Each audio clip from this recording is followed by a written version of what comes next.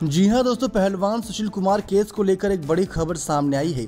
दरअसल दोस्तों, कई लोगों को यही लग रहा है कि सुशील कुमार ने सुशील कुमार और उनके साथियों ने चार पाँच मई की रात को सागर और उनके साथियों को पीटा, जिसमें पाँच लोग कुल मौजूद थे। सागर की दोस्तों, जान चली गई थी, लेकिन उसके बाद चार चश्मदीद गवाह बचे थे। तो ये मत सोचिए दोस्तों कि सिर्फ़ वही चार गवाह हैं। इसके अलावा दोस्तों, पुलिस ने करीब एक सौ छियालीस गवाह और तैयार कर लिए हैं। यानी कि टोटल 150 करीब गवाह बताए जा रहे हैं जो उस समय गवाही देने के लिए तैयार हो सकते हैं इन सब मामलों को लेकर। जी हाँ दोस्तों, अपराध शाखा के अधिकारियों के अनुसार कई हज़ार पेज की चार्जशीट में सुशील कुमार मुख्य आरोपी पाए गए हैं।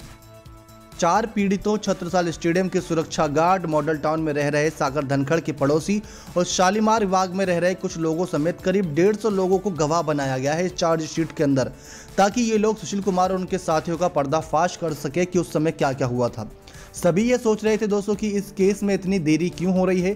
देरी की वजह दोस्तों, अब शायद आप सभी को पता चल गई होगी क्योंकि कई हज़ार पेज की चार्जशीट, डेढ़ सौ लोगों की गवाही, उनके बयान दर्ज करना, उन्होंने क्या देखा था वो सब दोस्तों एक एक करके लिखना, जो कोर्ट में पेश किया जाए तो आप सोच ही सकते हैं कि इस केस में क्यों देरी हो रही है।